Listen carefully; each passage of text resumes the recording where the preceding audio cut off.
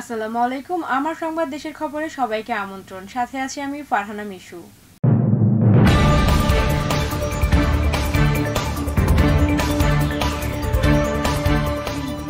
সামাজিক যোগাযোগ মাধ্যম সার্বক্ষণিক সচল, নামে বেনামে একাধিক আইডি। এসব আইডিতে টিকটক লাইকের ভিডিও, আবার কখনো ছোট ছোট নাটকের লিঙ্ক শেয়ার করা হয়। মডেলিং ও অভিনয়ের সুযোগ দেওয়া হবে, এমন চমকপ্রদ বিজ্ঞাপনও দেওয়া হয়। টার্গেট করা হয় শহর বা গ্রামের ফ্যাশনেবল, উচ্চ বিলাসী মেয়েদের। তারপর ফেসবুকে পাঠানো হয় বন্ধু হওয়ার আমন্ত্রণ। বন্ধু হওয়ার পর শুরু হয় কথোপকথন।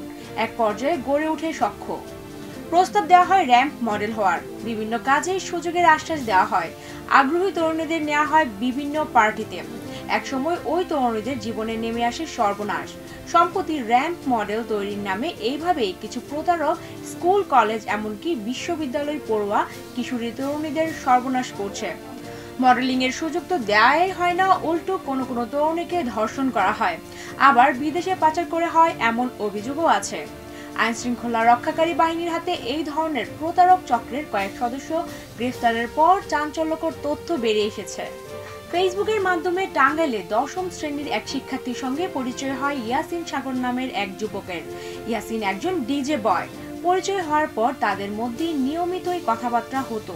এক পর্যায়ে ইয়াসিন তাকে র্যাম্প মডেল বানানোর স্বপ্ন দেখায়। সেও রাজি হয়ে যায়। স্বপ্নে বিবর কিশোরীকে স্বপ্ন পূরণে বাড়ি ছাড়ার পরামর্শ দেওয়া হয়। এরপর উনত্রিশে সেপ্টেম্বর থেকে নিখোঁজ হয়ে যায় ষোলো বছর বয়সী কিশোরী। অনেক খোঁজাখুঁজি করে সন্ধান না পেয়ে টাঙ্গাইল সদর থানায় একটি জিডি করেন তার বাবা।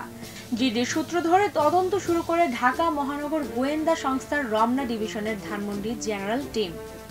তথ্য প্রযুক্তির সহায়তা নিয়ে চোদ্দ দিন পর ডিবি সোমবার তাকে বসুন্ধরা আবাসিক এলাকার একটি বাসা থেকে উদ্ধার করেছে। এই ঘটনার সঙ্গে জড়িত থাকায় ডিবি, ইয়াসিন সাগর ও আঞ্জুমা হোসেনকে গ্রেফতার করেছে।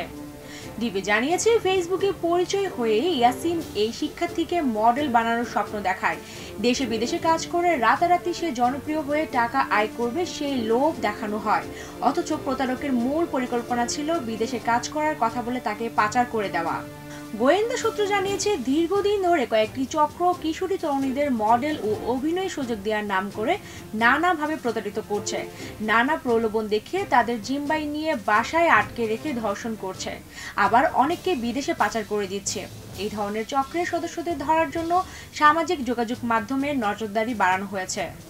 আমার সংবাদ দেশের খবর এই পর্যন্তই। আমার সংবাদ দেশের খবরের আরও আপডেট পেতে চাইলে চ্যানেলটি সাবস্ক্রাইব করুন। আল্লাহ হাফেজ।